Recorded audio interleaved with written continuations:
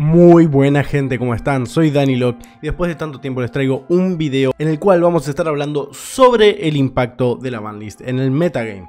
Em, como saben, justo estuve de viaje así que no pude hacer una reacción, eh, no, no tiene sentido hacer eso, entonces vengo con un contenido que está un poco más preparado teniendo en cuenta los impactos de esto, ¿no? Em, antes de empezar a hablar de esto, aunque esta imagen es un poco de por sí spoilerífica, eh, quiero agradecerles obviamente a todos ustedes por ver mi contenido, eh, a los miembros del canal, especialmente a los que van a aparecer ahora en pantalla. Y un saludo especial a Héctor Riveros, el juez Miro y Sin Esperanza. Gracias a ustedes por seguir haciendo contenido de lluvio de calidad. Y así que comencemos. Primero quiero hablar de las que yo creo que han sido de relativamente bajo impacto. Algunas de estas han sido súper necesarias, súper necesarias, pero de bajo impacto para el metagame. Y no estoy hablando esto es lo que quiero explicar. Va a ser, en mi opinión, de bajo impacto para el metagame, no para el mazo específico que los usaba. Eh, el primer ejemplo que vamos a ver acá es multi-rolls.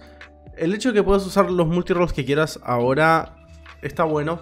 Va a ser algo de alto impacto para Sky Striker. Sin embargo, no creo que sea de alto impacto para el metagame. Eh, voy a cambiarme acá porque hay algo que estoy tapando. Ah, no me entraba todo. Muy bien. Ahora, empecemos. Bueno, multiroll ya lo dije. Creo que para el mazo en particular Sky Striker va a ser una carta de alto impacto, poder jugar todas las copias que quieras. Sin embargo, el metagame no sé si se va a ver fuertemente afectado por esto. Vamos a ver Sky Striker. Sí, hay gente que juega Sky Striker desde 2018 y sigue haciendo...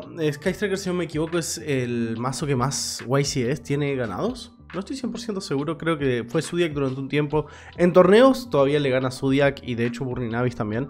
Pero en YCS em, tiene, lo tiene Sky Striker. Eh, esto son muy buenas noticias para el mazo. Pero bueno, no es muy impactante para el metagame en general, ¿no? Eh, estoy hablando del metagame, nada, es el juego competitivo, gente. Eh, como siempre digo, el juego casual está perfecto, me parece genial, pero no es la clase de contenido que suelo hacer. Em, así que nada, si esto no, no le sirve, vale. Lightning Storm a 2, eso es algo muy raro, pero no sé por qué la semi-limitarían, quizás están planeando limitarla más a futuro. No sé, es raro. Pero sí, no creo que sea de alto impacto. De 3 pasas a tener 2. El de la luz naranja quizás debería estar a 3 incluso. Em, nada, esta carta fue... El golpe a Tier Laments.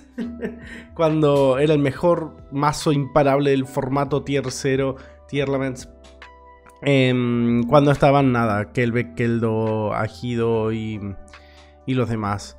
Eh, no va a ser otro. Y todas las cartas de Shizu em, a tres copias. Entonces era muy, muy, muy usable. Además, también al ser nivel 2 y ser eh, tuner se podían hacer cosas chanchas porque estaba em, Sprite Elf que se utilizaba como para reciclarla y con esto por ahí algunas jugadas podías acceder a Baronesa con Rulcalos, etc.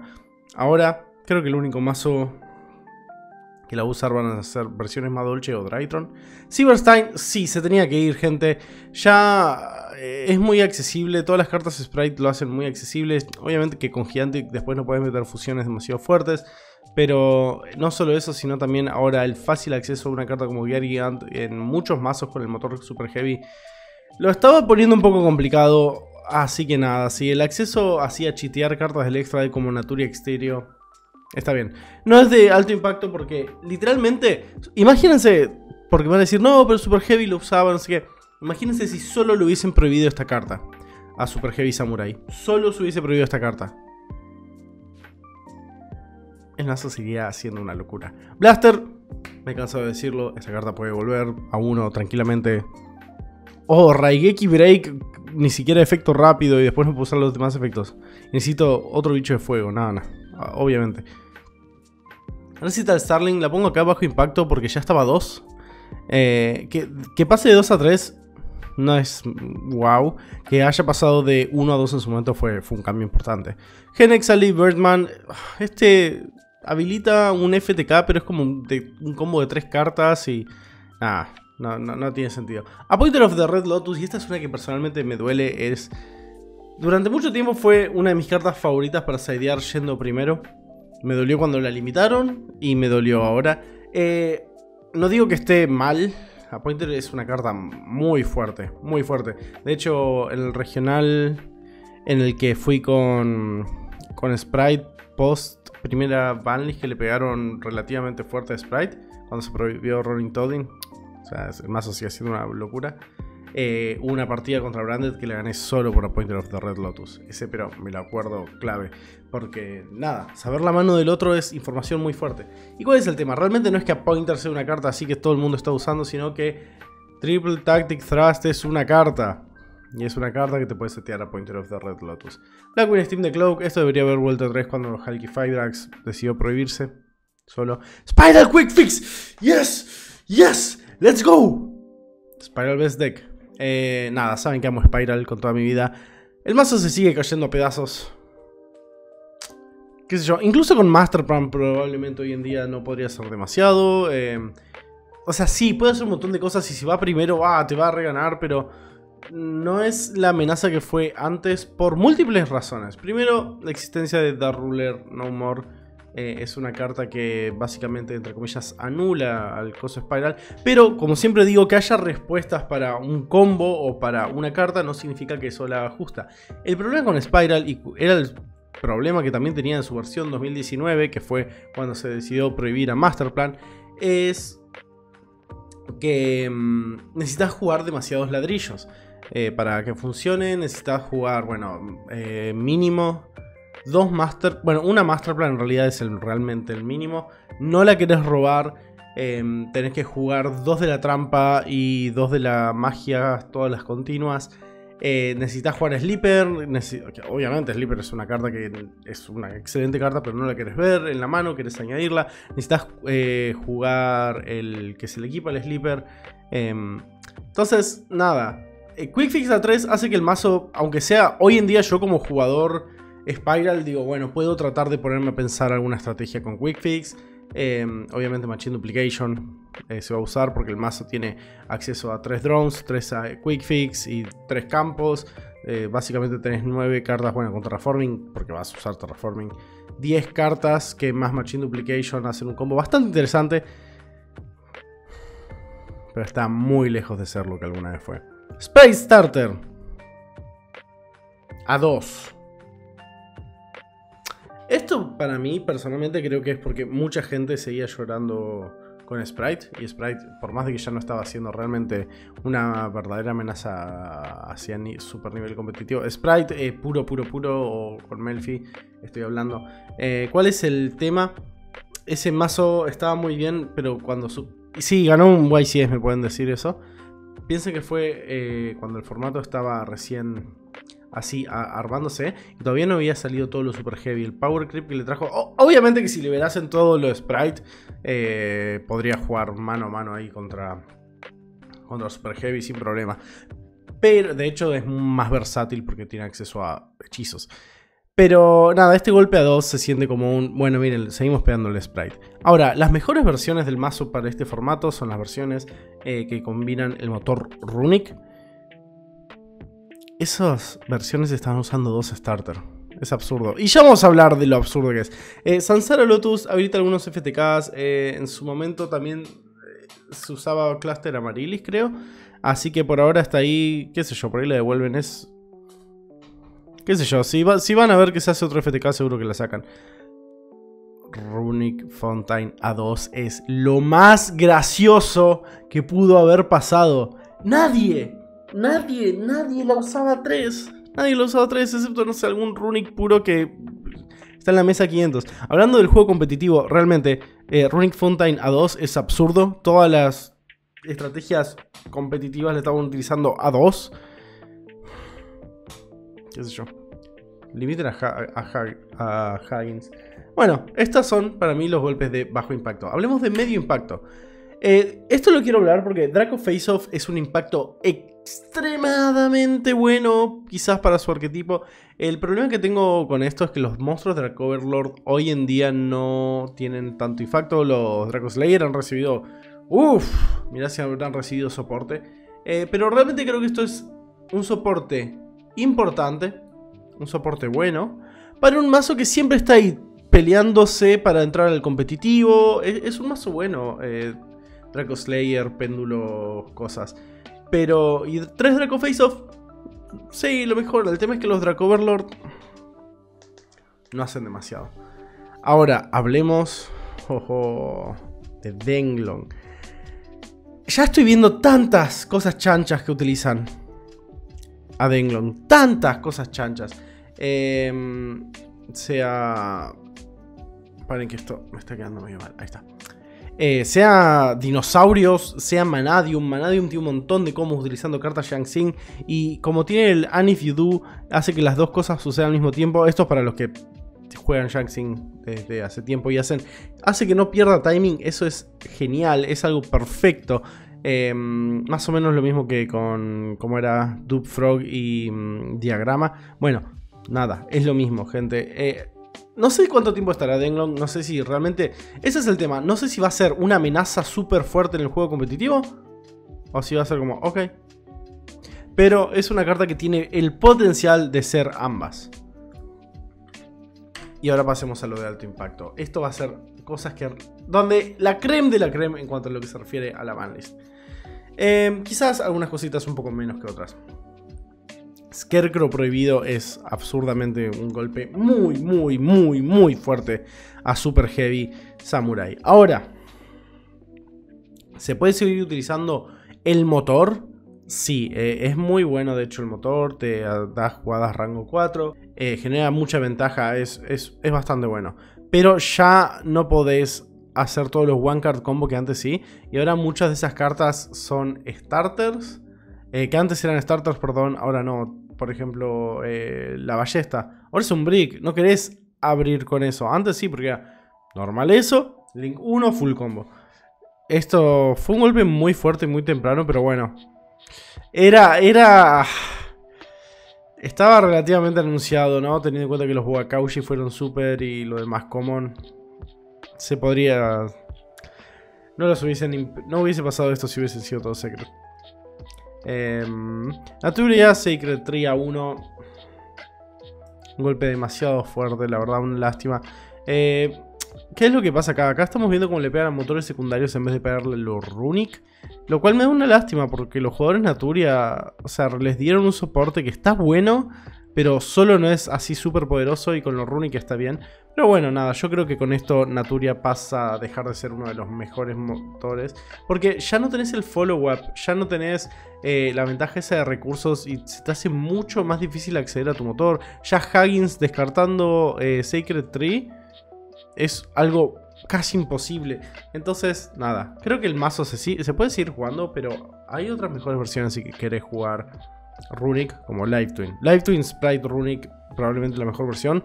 Eh, muy, muy, muy pegada para mí con la de, con la de Dinka Bui. Eh, Furhire. Masmer Circular limitado, ok.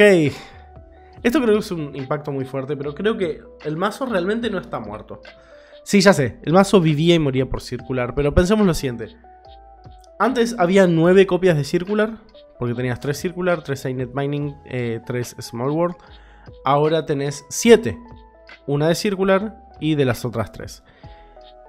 Esto obviamente va a hacer que si ves a Circular el primer turno no lo vas a poder ver en tu segundo turno. Pero si han jugado Math Match, saben que Circular quizás no es una carta tan necesaria pasado el primer turno. Es buena tenerla, es una obviamente, pero no es tan importante. Y teniendo en cuenta con el, nuevo soporte de los Firewall, e incluso, incluso pudiendo utilizar el soporte de mm, Super Heavy Samurai para poder acceder, hay muchas formas de acceder a Match Circular. Así que tengan, tengan cuidado que no creo que el mazo esté muerto. Ahora, no sé si va a ser la mejor opción. Castillo Unicorn a 2, o sea, Quiero hablar en realidad de todos los... Vamos a hablar de todos los golpes a Castilla medio juntos. Porque, ¿qué es lo que pasa? Eh, olvidémonos de estos dos, ¿no? Diablosis prohibido está perfecto. Era algo que debería haber quizás incluso sucedido antes. Diablosis es, es un asco. Eh, obviamente era una carta que estaba balanceada antes, pero porque no había ningún mazo que lo pueda aprovechar. Castira claramente fue un mazo pensado para aprovechar esto la previsión de Diablosis hace Castir un mazo muchísimo más justo por muchas cosas. Por, y hace el formato infinitamente mejor porque ya no tener que andar pensando en Lingurivo y que tengo que meter dos Lingurivos porque si me oponente me juega la Ibli. Esto lo hace un formato mucho mejor. Ahora, pasemos a los siguientes golpes. Castira a Reinhardt a 1 es un golpe, primero, fenomenal. Segundo, muy fuerte, muy fuerte. Yo creo, como ya estamos viendo, Castira seguía siendo el mejor mazo, el mazo a vencer. las herramientas que tenía a su disposición eran demasiado buenas. A Reinhardt ahora que esté a 1... O sea, si tu oponente roba el out, como, no sé, un Kaiju, estás en problemas. Estás realmente en problemas. Em, obviamente que a Reinhardt solo es una win condition. Así que creo que el golpe ese fue, fue fuerte. Y golpear a Unicornio 2 es, es raro, pero es un... Ok, vamos a dejar... Vamos a hacer que no sea todo gratis. Vamos a hacer que, además de pegarle a las cosas de poder, te vamos a pegar un poco en la consistencia, ¿no? Podemos esto que se le pegó más de una forma al mazo. Se le pegó un poquito, penitas en la consistencia, y en cuanto al nivel de poder, muchísimo, muchísimo. Y me parece que esa es una buena forma. Mucha gente odia las, la lista de semi-limitadas. Yo creo que está buena, justamente para hacer cosas como esta. Eh, obviamente seguís teniendo muchas cartas que te dan acceso a unicornio.